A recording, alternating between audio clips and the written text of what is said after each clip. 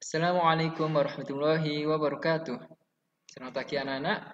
Jumpa lagi dengan Pak Nafi. Bagaimana kabarnya kalian semuanya? Semoga kita, orang tua kita, saudara kita, teman-teman kita semuanya selalu diberi kesehatan oleh Allah Subhanahu wa taala. Amin ya rabbal alamin. Sudah siap untuk memulai pelajaran pada pertemuan kali ini ya? Hari ini kita akan belajar mata pelajaran Al-Quran Hadis dengan materi bacaan idhar dan ikhfa. Tapi seperti biasanya sebelum kita memulai pelajaran, marilah kita berdoa terlebih dahulu dengan harapan semoga apa yang akan kita pelajari diberi kemudahan dan kefahaman oleh Allah Subhanahu wa taala. Amin ya rabbal alamin. Bismillahirrahmanirrahim. إلى حضرة النبي المصطفى رسول الله صلى الله عليه وسلم وعلى آله وأصحابه وذريته ولبيته الكرام إلى حضرة الشيخ عبد القادر الجيلاني وإلى حضرة الشيخ هاشم الأشعري وإلى مؤسسة علمية كبنساري وأساتذتنا وتلاميذنا ووالدنا لهم الفاتحة. أعوذ بالله من الشيطان الرجيم. بسم الله الرحمن الرحيم. الحمد لله رب العالمين. الرحمن الرحيم. مالك يوم الدين. إياك نعبد وإياك نستعين اهدنا الصراط المستقيم. صراط الذين أنعمت عليهم غير المغضوب عليهم ولا الضالين. رب اغفر لي ولوالدي وللمؤمنين آمين. بسم الله الرحمن الرحيم. Raditu billahi robba wa bil islami dina wa bi muhammadin nabiyya wa rasula. Rabbi zidni ilma warzuqni fahma. Amin Amin Amin. Ya Rabbal Alamin. Lanjut dengan membaca surat Nariyah sebanyak dua kali. Bismillahirrahmanirrahim. اللهم صل صلاة كاملة وسلم سلاما تاما على سيدنا محمد الذي تنحل به العقد وتنفرج به الكرب وتقضى به الحوائج وتنال به الرغائب وحسن الخاتم واستسقى الغمام بوجهه الكريم وعلى آله وصحبه في كل لمحة ونفس بعدد كل معلوم الله اللهم صل صلاة كاملة وسلم سلاما تاما على سيدنا محمد الذي تنحل به العقد وتنفرج به الكرب وتقضى به الحوائج وتنال به الرغائب وحسن الخاتم واستسقى الغمام بوجهه الكريم وعلى آله وصحبه في كل لمحة ونفس بعدد كل معلوم لك يا أرحم الراحمين Baik, langsung saja untuk materi pembahasan kali ini yang pertama yaitu menjelaskan hukum bacaan idhar dan ikhfa. Yang kedua, menyebutkan macam-macam huruf, huruf idhar dan ikhfa dan yang ketiga menerapkan bacaan idhar dan ikhfa. Sebagaimana yang kita ketahui, Al-Quran merupakan firman Allah atau kalamullah yang diturunkan melalui malaikat Jibril kepada Nabi Muhammad SAW. Membaca Al-Quran adalah termasuk ibadah. Membaca Al-Quran tidak boleh asal-asal. Artinya harus sesuai dengan kaidah atau ilmu tajwid. Anak-anak sudah paham apa itu tajwid? Ilmu tajwid adalah ilmu yang mempelajari cara membaca Al-Quran dengan baik dan benar. Jadi ilmu tajwid intinya adalah ilmu untuk mempelajari bagaimana cara membaca Al-Quran dengan baik dan benar. Belajar tajwid itu hukumnya fardu kifayah, bukan fardu ain. Tetapi membaca Al-Quran dengan baik dan benar hukumnya wajib. Nah, jadi bagaimana eh, bagaimanapun ketika kita membaca Al-Qur'an itu diharuskan atau diwajibkan membaca dengan baik dan benar. Maka sedikit ataupun banyak kita juga harus mempelajari ilmu tajwid agar bacaan kita bisa baik dan benar. Nah, ini sebagai motivasi kita supaya kita semangat dalam mempelajari atau membaca Al-Qur'an sebagaimana Rasulullah Shallallahu alaihi wasallam bersabda, barang siapa membaca satu huruf dari Al-Qur'an, maka dia mendapat satu kebaikan. Sedangkan satu kebaikan itu dibalas dengan 10 kali lipat. Saya tidak mengatakan alif lam mim itu satu huruf, tetapi alif itu satu huruf, lam satu huruf, dan mim itu satu huruf. Jadi uh, alif lam mim itu sudah uh, satu huruf, bukan alif lam mim itu satu huruf. Alif satu huruf, lam satu huruf, dan mim satu huruf. Bagaimana dengan uh, ayat-ayat berikutnya? Maka sudah banyak kebaikan yang kita dapatkan. Tetapi kembali lagi kita diharuskan membaca Al-Quran dengan baik dan benar. Untuk itulah kita akan belajar tentang ilmu tajwid. Nah, yang akan kita bahas yaitu hukum nun sukun atau tanwin.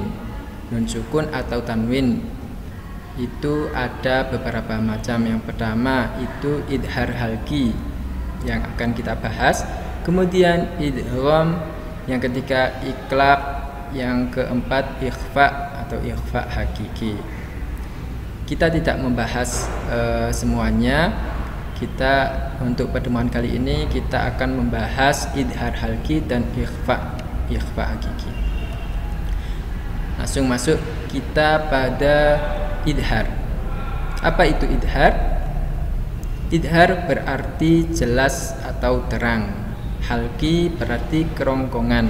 Jadi idhar halki ialah mengucapkan huruf nun sukun atau tanwin dengan jelas tanpa dengung. Jadi idhar itu e, dibaca jelas ya. Apa saja huruf idhar? Huruf idhar itu ada enam yaitu hamzah, ha, hamzah, ha, kho, ain, wain, ha atau ini ha kho ain wain ha hamzah. Jadi enam huruf ini termasuk dalam bacaan idhar. Kalau misalkan ada nun sukun atau tanwin bertemu dengan salah satu dari enam huruf ini maka harus dibaca jelas. Namanya apa? Namanya adalah bacaan idhar halki. Langsung kepada contohnya. Ini Contoh yang nun sukun bertemu salah satu huruf idhar halki. Yang hamzah bertemu nun sukun contohnya waman aroda jelas ya bacanya. Waman aroda tidak boleh dibaca samar. Waman aroda itu salah. Jadi bacanya harus jelas. Waman aroda kemudian ha. Contohnya inhum illa ha. Man hamalna kha liman khalaqta ain min amalin ghain min ghillin. Nah ini contoh-contoh huruf yang ketika nun sukun bertemu dengan salah satu huruf dari idhar halki. Ini ada enam huruf sudahan contohnya. Kemudian lanjut kepada salah satu huruf yang bertemu dengan fathah tanwin. Ini yang hamzah. Contohnya ihsanan imma ha bertemu fathah tanwin. Contohnya man sakan hum. Nah kemudian yang kasroh tanwin bertemu dengan hamzah. Contohnya bima salin illa. Kemudian ha bertemu kasroh tanwin min qarnin hum. Kemudian yang bawahnya hamzah bertemu dengan domah tanwin. Contohnya kaumun akharuna yang hak bertemu domah tanwin contohnya inim ruun halaka dan huruf idhar lainnya yang ada empat ini. Ini contohnya saya kasih dua contoh hamzah sama hak ketika nanti bertemu itu hamzah ha kho ain wain ha jadi bacanya juga sama harus jelas. Nah, itu tadi tentang idhar. Sekarang kita masuk pada pengertian ikhfa atau ikhfa hakiki dalam pembahasan kali ini ya. Apa itu ikhfa? Ikhfa menurut bahasa artinya samar. Dalam pengertian ikhfa tajwid eh dalam pengertian ilmu tajwid maaf dalam pengertian ilmu tajwid, ikhfa adalah apabila ada nun sukun atau tanwin bertemu dengan salah satu dari 15 huruf hijaiyah. Apa saja? Ta, sa, jim, dal, zal, za, sin, shin, shod, dod, to, do, fa, kof, kaf. Nah, ini 15 huruf dari huruf hijaiyah Ketika bertemu dengan 15 huruf ini harus dibaca samar dan namanya adalah bacaan ikhfa hakiki. Lanjut pada contoh ikhfa hakiki ketika bertemu dengan e, nun sukun bertemu dengan salah satu huruf dari ikhfa. Ta bertemu dengan nun sukun contohnya afaan tatakunu. Jadi samar ya bacanya tidak jelas tapi samar dan kalau bisa ditahan satu alif. Afaman afaan tatakunu. Kemudian yang sa bertemu dengan nun sukun. Contohnya min samaratin. Jim bertemu dengan nun sukun. Bima jaa dal bertemu dengan nun sukun inda rabbihim. Dal bertemu nun sukun. Min zahabin. Za bertemu nun sukun. Fa anzalna sa sin bertemu dengan nun sukun. Wa kanal insanu shin bertemu dengan nun sukun. Masyuran dan huruf ikhfa lainnya yang ada 15 itu. Kemudian yang tanwin ini fathah tanwin ya. Dari e, fathah tanwin bertemu salah satu huruf ikhfa. Tak suku ta bertemu dengan fathah tanwin. Contohnya wa kullan tabbarna sa bertemu fathah tanwin sakinatum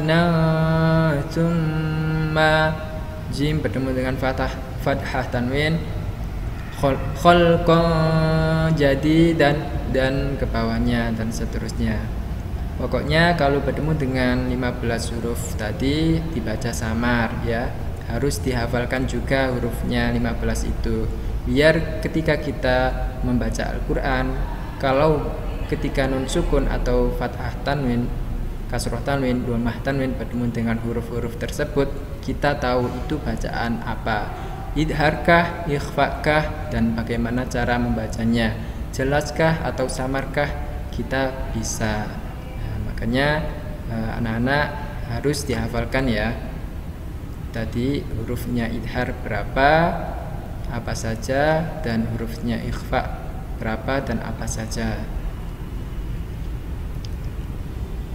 Nah, kemudian lanjut ke bagaimana e, menerapkan bacaan idhar dan ikhfa ini ada surat e, Al-Ghaziyah eh, e, 1 sampai ayat 26. Kita baca bersama-sama tentunya dengan e, kaidah ilmu tajwid. A'udzu billahi minasy rajim. Bismillahirrahmanirrahim. هل أتاك حديث الغاشية وجوه يومئذ خاشعة عاملة ناصبة تسلى نار حامية تسقى من عين آنية ليس لهم طعام إلا من ضريع لا يسمن ولا يغني من جوع. وجوه يومئذ ناعمة لسعيها راضية. في جنة عالية لا تسمع فيها لاغية. فيها عين جارية فيها سرر مرفوعة وأكواب موضوعة ونمارك مصفوفة وزرابي مبثوثة أفلا ينظرون إلى الإبل كيف خلقت وإلى السماء كيف رفعت وإلى الجبال كيف نصبت؟ وإلى الأرض كيف سطحت فذكر إنما أنت مذكر لست عليهم بمسيطر إلا من تولى وكفر. فيعذبه الله العذاب الأكبر إن إلينا إيابهم ثم إن علينا حسابهم صدق الله العظيم anak-anak bisa uh, mengulang kembali bacaan sebagaimana yang Bapak uh, bacakan yaitu surat Al-Ghasyiyah. Nah, di sini uh, dalam ayatnya ada bacaan tajwidnya. Uh, termasuk juga yang telah kita pelajari idhar dan ikhfa. Baik, mungkin cukup sekian dari pertemuan kali ini. Semoga apa yang kita pelajari dapat bermanfaat. Tetap semangat, tetap jaga kesehatan. Kurang lebihnya Bapak minta maaf. Wassalamualaikum warahmatullahi wabarakatuh.